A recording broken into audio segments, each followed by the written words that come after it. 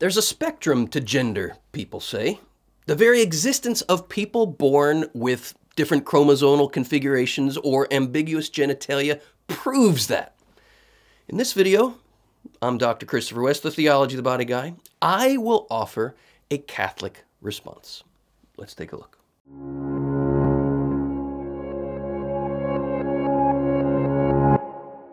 We continue our series looking at questions in my book, The Good News About Sex and Marriage. If you're interested in following along and having your own copy, check out the link in the notes below.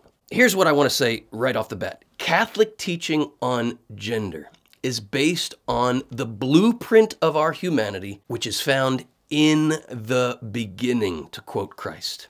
In the beginning. Haven't you read, Jesus says, that in the beginning, God made them male and female? The world we live in now is a fallen world. Something has gone wrong with the world in which we live. Tragically, as I say here, because of the mystery of humanity's fall into sin, painful anomalies have been introduced into creation that were never part of God's perfect, loving design. He allows them, obviously, but He does not will them. For example, we know that human beings are meant to have arms and legs, but we also know that in this fallen world in which we live, sometimes people are born without arms and legs. We also know that people are meant to be able to see, to hear, to speak. But sometimes people in this fallen world are born blind, deaf, or unable to speak. It's tragic when birth defects like this occur precisely because something has gone wrong. And we know something has gone wrong because there is a blueprint for human nature against which we can judge when something has gone wrong. Now, in these cases of birth defects, it's important to recognize that the person's physical development departed from the natural order of things.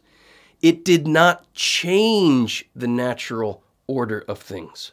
We still know people are meant to have arms and legs, even if, sadly, some people are born without them. It's the same in those rare cases of those who are born with chromosomal disorders or ambiguous genitalia.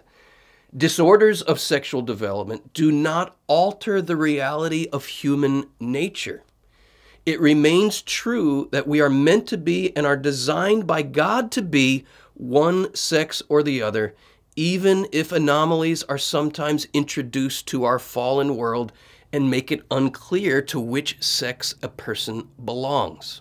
Now, here's also a very important point we must insist on. While birth defects are attributable to the mystery of sin in a general sense, original sin, right?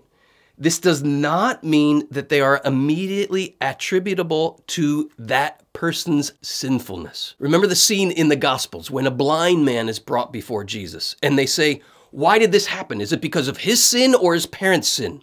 Listen to what Jesus says here. So important for us.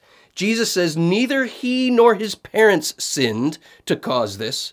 Rather, he was born blind, Jesus says, so that the works of God might be made visible through him. This is God's promise to us. Whatever evils we may suffer in this life, God is going to bring about a greater glory. And we can certainly say what Jesus said of the blind man. We can certainly say the same about other birth defects, including those rare cases of ambiguous genitalia or chromosomal disorders.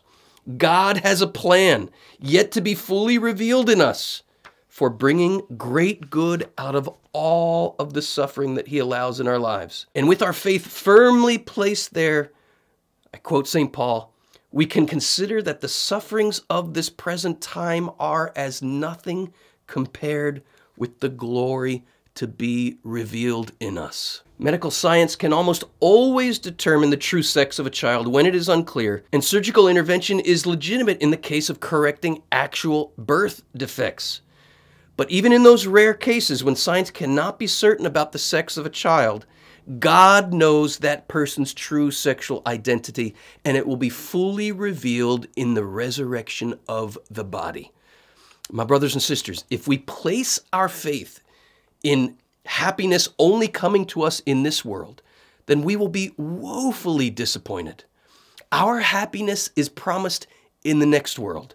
And in this life, even our sufferings become a path to that happiness. This is why Paul says our sufferings are as nothing compared to the glory, the happiness, the joy that awaits us on the other side. Now, of course, there are many things we can do in this life to make this world a better place. But this has to be done with a humble recognition of God's plan, of God's order. And there are certain things that in the end we can't fix, that in the end only God can resolve. And we must be patient enough to wait for such resolutions in the next life. If we hope only for happiness in this world, St. Paul tells us we are the most pitiable of all people. The Lord has promised to those who trust in His mercy that in the next world, every last ounce of evil, sorrow, and suffering will be fully redeemed. Then the eyes of the blind shall see, Scripture promises, and the ears of the deaf be opened. Then the lame shall leap like a stag, and the mute tongue will sing for joy.